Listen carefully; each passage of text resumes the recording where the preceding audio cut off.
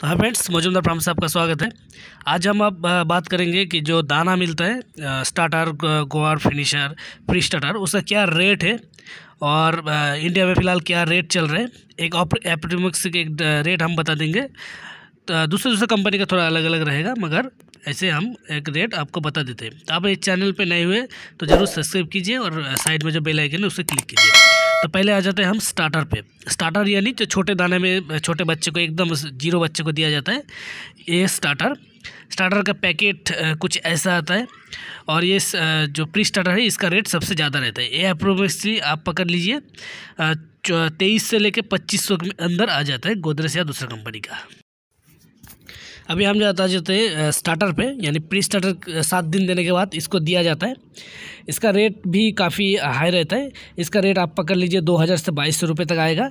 ये स्टार्टर है। स्टार्टर भी काफ़ी अच्छा काम करता है।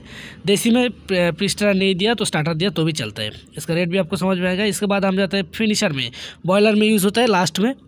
तो इसका रेट कम से कम आप पकड़ लीजिए अठारह सौ सत्रह सौ अठारह सौ रुपये आ जाता है इंडिया में। तो ये दूसरे दूसरे कंपनी का वेरी करता है। दूसरे दूसरे कंपनी में दूसरा दूसरा रहता है।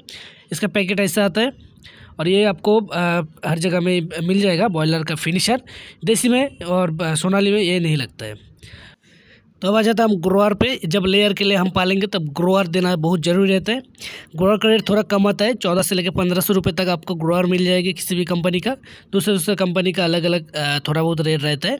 तो ग्रोअर देने के बाद हमें देना पड़ता है फेस वन तो यही लास्ट का रहता है अंडे वाला, जो चार महीने बाद दिया जाता है। तो जो फेस वन रहता है, इसका रेट आपका तेरह से लेकर चौदह सौ रुपये तक आ जाएगा। पहले पहले आपका जो छोटा बच्चा रहे, तभी खर्चा ज़्यादा आता है। मगर जब बाद में बड़ा हो जाता है धीरे धीरे तो खर्चा कम होने लगता है। तो आपको समझ में आ गया होगा किस किस टाइप का दाना लगता है। और इसका रेट भी आपको समझ में आ गया होगा।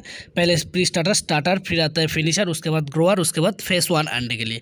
इसमें आपका काम हो जाएगा। तो वीडियो अच्छी लगे लाइक करें कमेंट करें शेयर करें। चैनल पर नए हुए तो सब्सक्राइब करके रखें। मिलते हैं ऐसे ही नेक्स्ट वीडियो में। धन्यवाद।